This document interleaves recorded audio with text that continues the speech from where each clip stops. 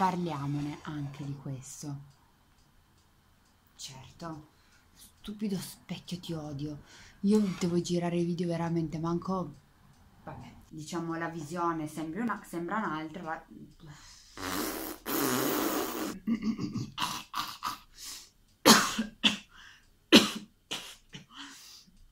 Manco Timmy di Christmas Carol o Tommy, come si chiamava. Un assistente che è comunque molto loquace. Si vede? No, non si vede.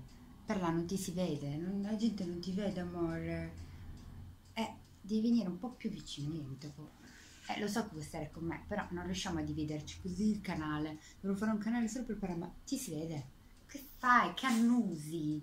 Io questa cosa sembro malgioglio. Comunque, che dici? Ti piaccio? Così in versione un po' malgioglio, un po' ciottolina. Sì, le piaccio. Allora, eh, sì, questa versione perché praticamente eh, questa versione da Mickey Mouse quando fa lo stregone in fantasia o in... ci puoi mettere la testa, guarda dentro, uh, o in versione cuccio, cucciolo? Il nano, il nano si chiama cucciolo? Sì, si chiamava Cucciolo. E questa versione un po' malgio- di malgioglio, no? Eh, è dovuta al fatto che in me dimora un'ottuagina e quindi sono eh, lamentosa, odio il caldo, odio il freddo.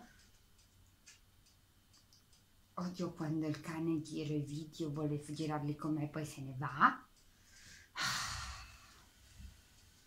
Guardatemi tutta la mia bellezza con dei piccoli Batman qua. Questo praticamente... Ma che ciglia! Mm, brava mamma che mi ha comprato questo mascara, guarda che cigliana che mi fa. Comunque, eh, vabbè, appunto, sto dicendo, in me dimora un'ottuagena per cui eh, mi lamento del caldo e del freddo continuamente e anche di questi capelli orribili, ma vabbè, lasciamo perdere. Eh, diciamo che ehm, volevo fare questo video un po' chiacchiericcio, un po' eh, per dirvi diciamo i film e le serie tv che ho visto in questo periodo. Ehm, appunto, ve lo dico dal punto di vista di chi vede da spettatore, non da studioso della materia. Ecco, specifichiamo questa cosa perché se no giustamente chi è che studia viene a dirmi ma che stai lì a recensire? Non, non, recensisco dico soltanto la mia. Vi consiglio diciamo dei film che secondo me delle serie tv che secondo me potrebbero piacervi. Se seguite il mio canale avete i miei stessi gusti diciamo tra l'horror gialli eh, storici. Mh, mm, vi consiglio due o tre cose. Che vi consiglio eh, se vi piacciono i gialli eh, di Agatha Christie è appunto l'adattamento cinematografico a un libro di Agatha Christie che è Testimone da d'accusa dove eh, appunto i protagonisti sono Tyrone Power, il padre di Romina Power e uh, Charles Lawton che fa l'avvocato che difende appunto Tyrone Power dall'accusa di omicidio di una vecchietta. Uh, mi è piaciuto più questo film diretto da Billy Wilder del 57 piuttosto che uh, nu- il nuovo adattamento cinematografico che ha proposto Sky con quell'attore che fa il serial killer, non so se scherzando, il serial killer, che, che è un gioco di parole, il serial killer in um, Sherlock Holmes o che ha fatto anche Wayward War Pines dove fa lo psichiatra, quell'attore diciamo che secondo me non ha interpretato proprio bene la parte dell'avvocato che difendeva l'imputato. Um, è interessante come si dipana la vicenda, uh, vi dico, quel film vi consiglio di guardare il film del 1957, a parte perché ci sono degli attoroni allucinanti, stiamo parlando di Charles Lawton, uh, Tyrone Power, stiamo parlando di uh, Marlene Dietrich Dietrich, non riesco a pronunciarlo, perdonatemi. Comunque c'è un cast allucinante, ci sono state candidature per Oscar al miglior film, al miglior attore protagonista, eccetera. La trama è basata sul eh, fatto che Tyrone Power, in questo caso, eh, viene accusato dell'omicidio di una vecchietta. Eh, lui ha il movente in quanto alla la vecchietta, l'anziana signora, gli ha lasciato nel testamento tutti i suoi averi, lui era un povero squattrinato e da qui praticamente viene accusato dell'omicidio, dalla governante della, della, signora viene accusato di omicidio perché appunto c'è un movente, all'epoca non esisteva a livello probatorio le prove scientifiche, quelle antropologiche, quelle biologiche, mm, diciamo che eh, la ricostruzione era appunto di tipo abduttivo, la stessa che faceva Sherlock Holmes, si cercava il movente, si cercavano dei, si facevano dei ragionamenti, delle diciamo inferenze eh, investigative eccetera e poi più o meno si raggiungeva a un, uh, un'inferenza appunto a un ragionamento finale per cui secondo me tu avevi il movente eh, il, eh, ti trovavi sul luogo del delitto non hai un alibi e così via. Eh, è bello sia perché Charles Lawton interpreta l'avvocato cinico, antipatico eh, in modo meraviglioso, mi è piaciuto tantissimo. Eh, mi è piaciuto eh, anche Tyrone Power come interpreta la, la parte dell'imputato e eh, potete anche vedere appunto dal punto di vista processuale come nel sistema di common law mh, mm, mm, diciamo funziona diversamente rispetto al nostro sistema. Uh, un esempio palese è il fatto che i giudici là vengono eletti, uh, sono persone che sì hanno studiato diritto ma sono persone che vengono elette quindi sono sostanzialmente dei politici non c'è questo uh, diciamo equilibrio che dovrebbe esserci nel nostro sistema nel nostro ordinamento dove la politica è la eh, giurisprudenza sono separati. Uh, là non esiste perché i giudici vengono eletti uh, e oltretutto si vede proprio il sistema della giuria, ma del sistema della giuria ne parleremo poi in un altro film, uh, anche quello mi è piaciuto veramente tanto e questo film in particolare è incentrato sul principio del ne bis in idem, che è il principio secondo il quale, principio che vige anche in Italia, secondo cui tu non puoi essere accusato del medesimo fatto nel momento in cui la sentenza è passata in giudicato. Cosa vuol dire? Che se tu sei stato accusato di omicidio e ad esempio da noi abbiamo i tre gradi di giudizio, in America ce ne sono due, però poniamo il caso che vieni eh, assolto o vieni eh, considerato innocente, non puoi essere giudicato un'altra volta per il medesimo fatto, nonostante vengano trovate nuove prove, ci siano nuove prove documentali, filmati, registrazioni, tu non puoi essere giudicato per il medesimo fatto nel momento in cui è passata la sentenza, si dice nel momento in cui la sentenza è passata in giudicato. È veramente un film bellissimo perché si va, io non posso muovermi perché dà, dà, proprio fastidio questa idea di Zoom. Comunque è un film bellissimo perché appunto si basa su questo principio giudiziario del Nibis in idem e gioca su questa cosa, stessa cosa su cui gioca anche poi il film eh, Il caso Thomas Crawford. Non so se l'avete visto, è molto più recente, c'è Anthony Hopkins che fa la parte dell'imputato e c'è un giovane Ryan Gosling che fa la parte dell'avvocato che deve appunto accusare eh, deve, diciamo, si fa la parte dell'accusa, diciamo.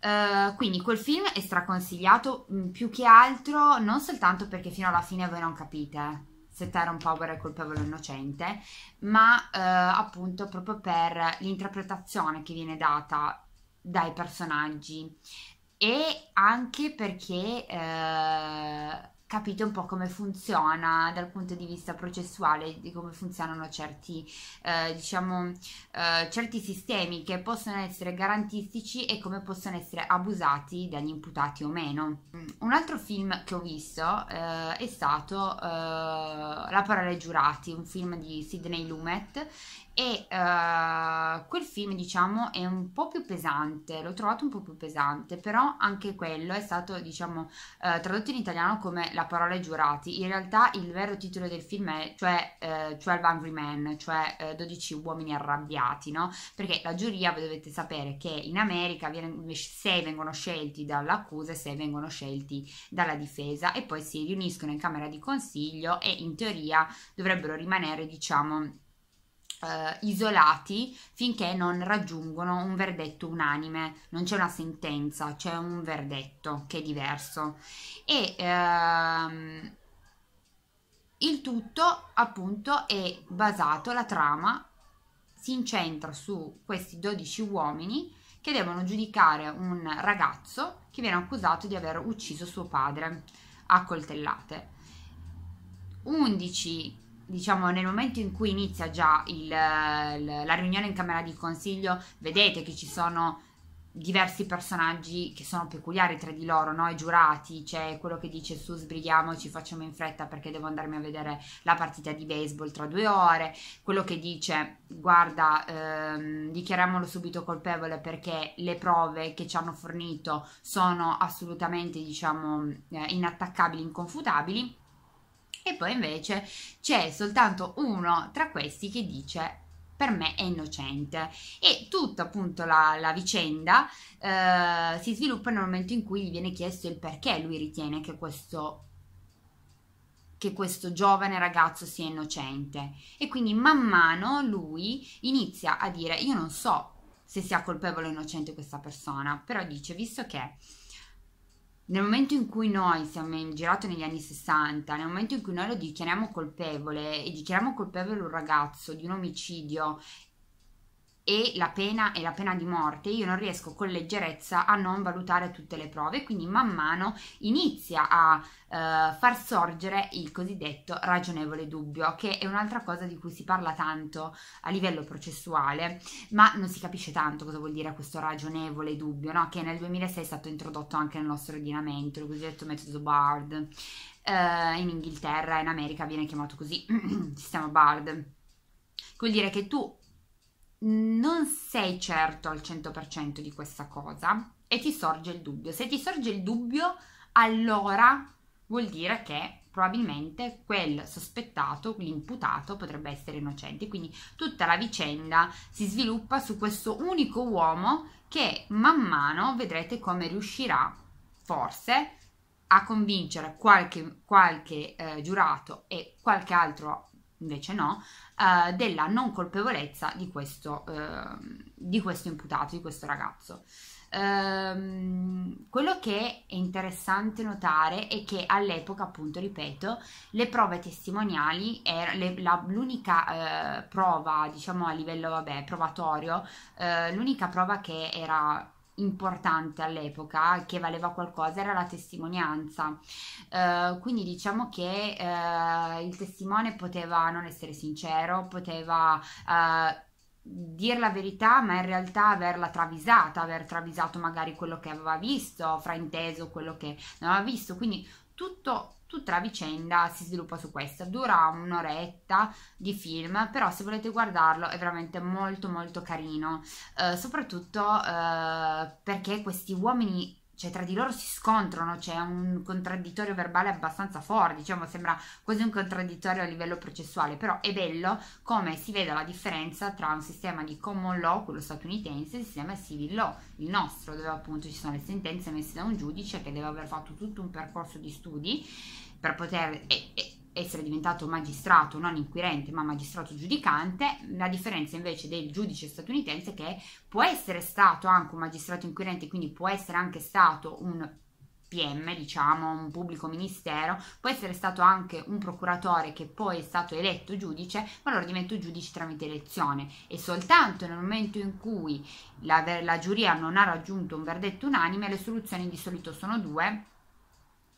E di solito sono o che il si annulla definitivamente il caso oppure il giudice sceglie lui. Di solito quando la giuria non raggiunge un verdetto unanime l'imputato viene prosciolto ed è per questo che si evita che la giuria venga corrotta dall'imputato perché se io vado a corrompere la giuria e faccio sì che un giurato non sia unanime nel verdetto posso diciamo far annullare l'intero processo quindi questo diciamo è, un, è, stato un film molto bello per quanto riguarda la, la mia materia se volete guardarlo guardatevelo. Tra uh, serie tv che ho, che ho finito uh, è Lizzie Borden. Allora parliamone. Allora Lizzie Borden è tratto da una storia vera. Allora l'ho scelto perché ho visto Cristina Ricci. Io adoro Cristina Ricci. Dopo che ha fatto Mercoledì nella famiglia Adams e dopo che ha fatto ehm, I misteri di Sleepy Hollow, io adoro Cristina Ricci.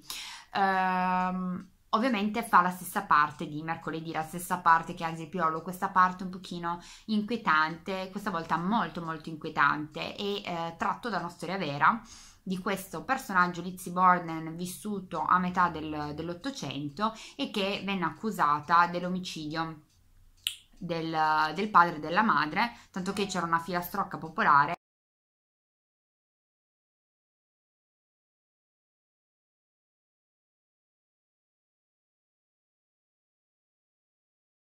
e che veniva cantata dai, dai bambini. Uh, uccisa appunto a colpi d'ascia suo padre, 40, e a 41 sua madre.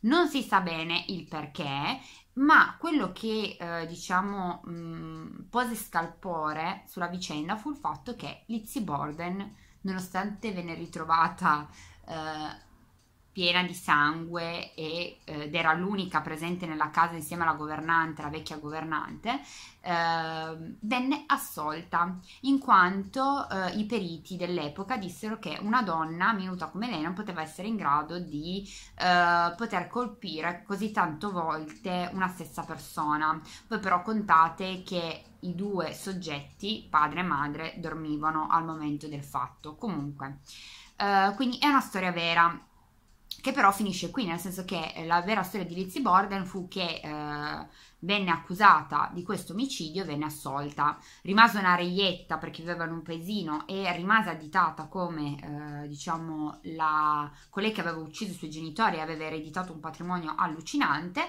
Non si sa tutt'oggi se sia stata lei o meno l'assassina eh, dei, dei suoi genitori, però eh, una cosa eh, che eh, traspare anche poi dalla serie tv che era certa era il fatto che lei adorasse gli animali, nel senso che lei, eh, anche nella serie tv ad esempio, lei attacca eh, le persone che fanno del male, attacca un po' di tutto perché sembra nella serie tv è stata un pochino diciamo esagerata la figura di questo personaggio storico, perché eh, nella serie tv Lizzie Borden ammazza e, e mm, non è che ammazza le persone eh, che le danno fastidio o che la intralciano usando il classico veleno alla, eh, alla borgia, i veleni diciamo ma eh, lei praticamente preferisce le armi bianche, quindi tutto il film, la serie tv è molto, molto, aiutatemi a dire, molto splatter, sembra che l'abbia girato Quentin Tarantino, ci sono schizzi di sangue ovunque che vanno avanti per delle ore, tu dici ma è possibile che sia così veramente? E um, una cosa che colpisce, stavo dicendo, e traspare anche poi nella serie tv è il fatto che lei adorasse gli animali. Chiunque toccava un animale o faceva male ad un animale, faceva una brutta fine. Di solito gli veniva recisa la carotide o la giugulare o eh, l'arteria femorale o mh, mm, scolpita da sciate, pugnalate, altre cose. Poi eh, appunto questo nella serie tv. Nella realtà lei è stata accusata soltanto dell'omicidio dei suoi due genitori e di un piccolo furto che poi lei ha confessato e ha lasciato poi tutto i suoi averi alla Lega eh, per gli animali. Quindi il fatto che lei adorasse gli animali è un dato di fatto.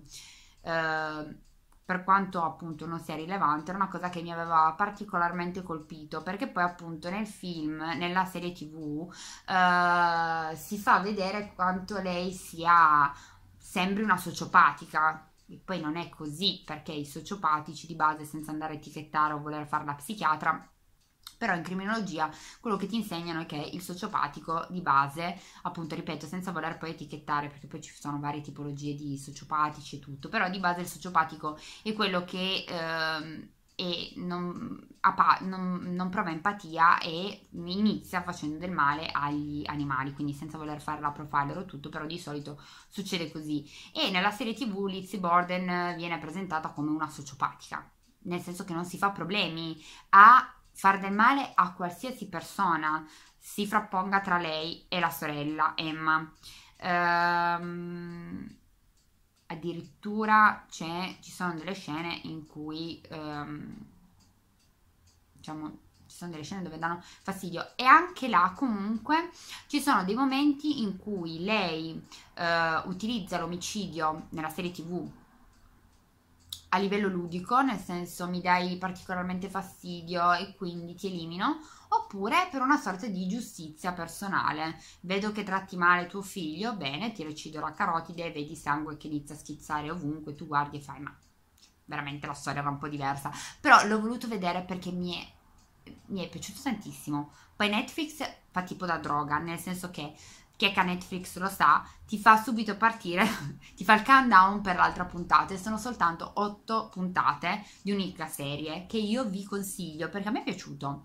Uh, adesso ho iniziato Dirkly Gently, mi pare si chiami così, con Elijah Wood che non invecchia, io non so, probabilmente Elijah Wood in realtà ha girato Harry Potter, ha rubato la pietra filosofale e lui sta vivendo così. Elijah Wood, dalla anche a me, per favore, dalla resto, spartiscila col resto del mondo, avido. E ehm, comunque, e per adesso sono arrivata alla seconda puntata e non ha senso, però mi sta piacendo questa cosa demenziale dell'investigatore olistico e dell'assassina olistica, dove si basano sul fatto che il tutto è un flusso continuo e quindi non esistono eh, le causalità, ma tutto ha un suo percorso, un suo perché è veramente strano e demenziale, però mi sta piacendo. Se qualcuno ha iniziato a vedere queste serie me lo faccia sapere e niente, anche questa volta ho fatto un video lunghissimo che dovrò stratagliare, ci vediamo la prossima volta con un altro video, magari meno chiacchiericcio. Ciao!